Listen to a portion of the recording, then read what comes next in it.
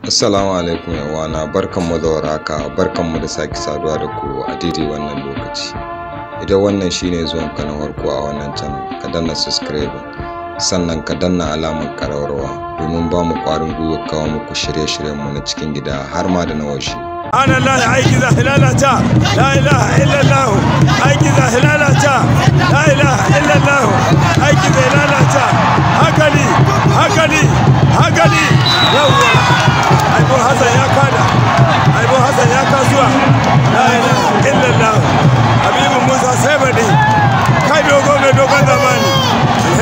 shi kare ka inna lillahi.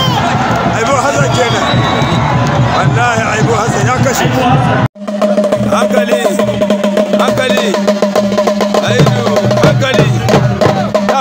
Hankali subhanallah la ilaha illallah. Aiki za hilalata aiki za hilalata innahu kai dan jimma kusa hankali aiki za hilalata innahu min sulaimana subhanallah.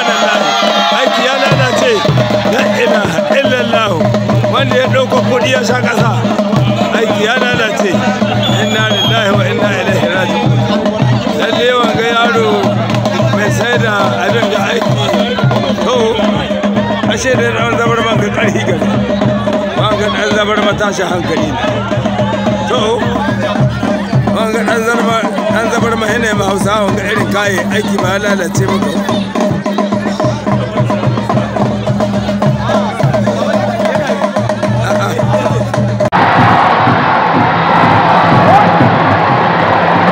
Yare ka tsaya ai kun je